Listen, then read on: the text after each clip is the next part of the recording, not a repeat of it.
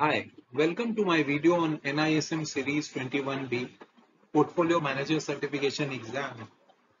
In this particular video, based on the request received from some of the viewers, I am going to take you through case study 4, which is basically about solving problems related to time weighted rate of return, TWRR, money weighted rate of return, MWRR, and risk adjusted return in order to help you understand this concept in a better way, I am going to take uh, Excel based exercise which will help you to get an idea about how to solve this uh, uh, these problems. Because when you write the exam you will also get Excel uh, which will be made available to you and you can use Excel to solve the questions of the case now you can see this particular case study which I will quickly read it out for you because the same case study will, you, will be used in subsequent four slides. So investment of a client was handled by a PMS provider for five years. So we know there's a duration of five years here, time frame of five years here. During these five years, the client kept on investing into the fund at the beginning of the year. So it's very clear that the investment is happening at the start of the year uh, rupees 50 lakhs, 35, 30 lakhs, 20 lakhs, 15 lakhs and 10 lakhs were invested and the accumulated fund generated 35% minus 8, minus 5, 25 and 20% at the end of the each year. So fund was invested at the beginning, returns came at the end. The client expected a net return after tax of 12.5% on this entire investment by the end of the five years. The average tax that the client could attract is 15%. And subsequently, as you can see, the average rate of return on the relevant benchmark was 15% with a standard deviation of 12% and risk-free rate of 6% for the same five years. Okay. So the question that is asked, the first question is what is time weighted rate of return? So let me explain this with the help of uh, one Excel exercise. So here, the first thing that you need to do is you need to type all the five years because it's an investment which is made for 5 years. The return has been given to you which is also clearly mentioned in the case 35% minus 8% minus 5% and 25%. You can see it here. It is it comes directly from this particular data that we have used. What you do as the next part is that you add the return with the value of 1 which is 1 plus 35%. Remember you are adding a number to percentage.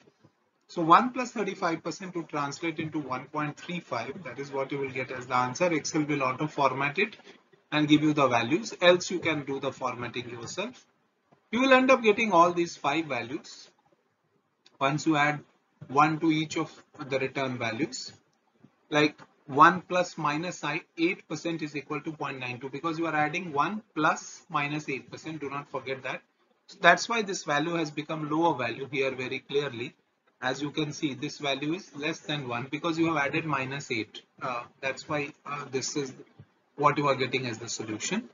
Now as part of the next step you multiply all these five values which is 1.35 multiplied by 0.92 multiplied by sorry 1.35 multiplied by uh, 0.92 multiplied by 0.95 further multiplied by 1.25 and 1.20 then you will end up getting the overall value either as a number 0.7699 or 76.99% as you can see here.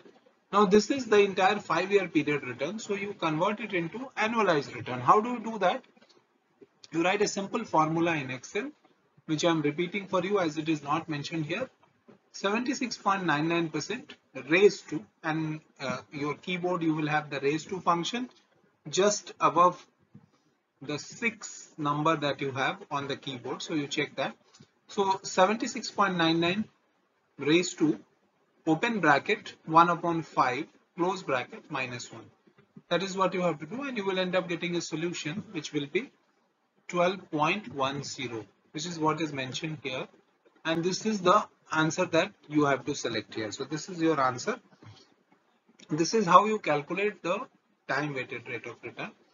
Now, how do you calculate the money weight, money weighted rate of return? Here, I'm not reading the entire case, but I'm just giving you the solution. Now, investment amount have been, first of all, the year has been written as you wrote in case of time weighted rate of return. Then you write the investment amount. Now this investment amount comes from the values that we have here 50 lakhs, 30 lakhs, 20 lakhs, 15 lakhs and 10 lakhs. Now once you have written this what you do is that you find out what is the return value that you have. So as you can see the return values here are given as this much. Now end of the year value that you have okay you have to just be careful here because first year value which you see here is uh, increasing by 35% and becoming this value. But in the subsequent year, in spite of making the investment, your value is going down to this. So what do you do is you add these two values, first value and the second value, you add both of them and then you multiply it by 0.92. So you will end up getting the value that you can see here at the end of the second year. Okay. So second year value that you are getting is after adding the first year end values, investment and multiplication of it by 0.92. Now once you have these values, you will get the year end value and the year end value will be fifth year end value will be this much which you can see here.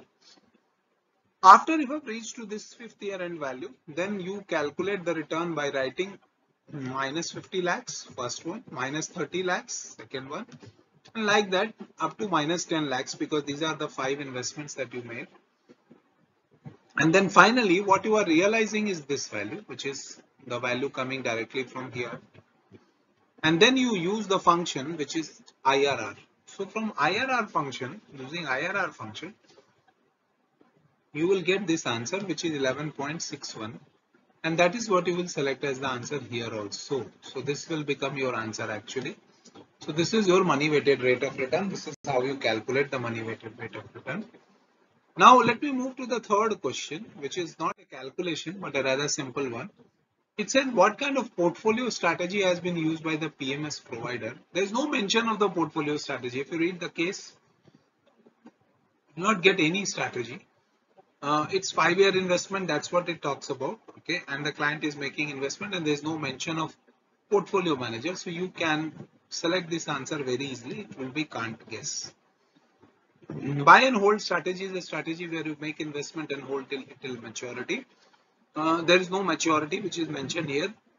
constant mix, mix and constant protection uh, portfolio strategy is also not mentioned here.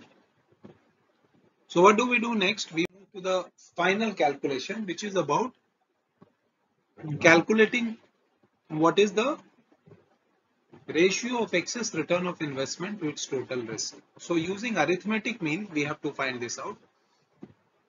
So how do we find the arithmetic mean? We write all the five returns which we have been using in all the cases. And then we use the function average in Excel to get mean. So there is a function average A-B-E-R-A-G equal to average you write and you get this mean. Then you use standard deviation which is STDEV function I'm repeating it equal to STDEV that is the standard deviation function you find out the standard deviation you take the risk-free return and then how do you find the answer for the question? Solution formula is given as mean minus risk-free return upon standard deviation. This will give you a value of 0.39 again your answer will be this one. Now having solved these four questions for you in this video. I will just like to tell you that thank you so much for going through this video. I'm sure you have liked this video. If you have liked it and if this solution has helped you, please do like this video and also subscribe to my channel. Thank you so much.